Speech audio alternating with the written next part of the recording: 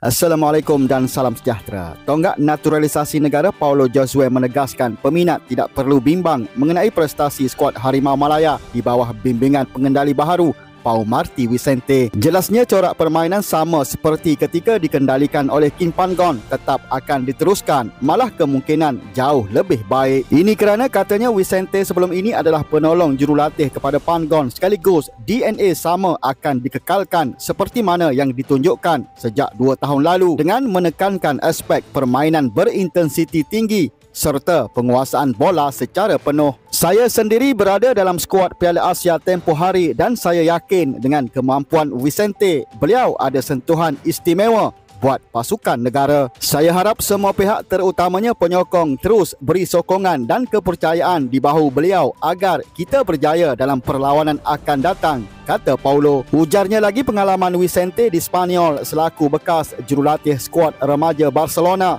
boleh dimanfaatkan bersama skuad Harimau Malaya nanti. Saya yakin Vicente akan meneruskan momentum sama dengan tidak banyak perubahan dalam permainan pasukan. Malah mungkin akan ada penambahbaikan dilakukan nanti kerana kita tahu pengalaman beliau di Spanyol cukup luas tambah Paulo lagi. Skuad negara akan memulakan latihan pusat Kamis ini dengan Vicente memanggil 26 pemain untuk ke kem latihan kali ini. Tugasan pertama yang bakal menanti beliau adalah kejohanan Pesta Bola Merdeka yang akan bermula 4 September ini dengan pasukan negara bertemu Filipina di Stadium Nasional Bukit Jalil.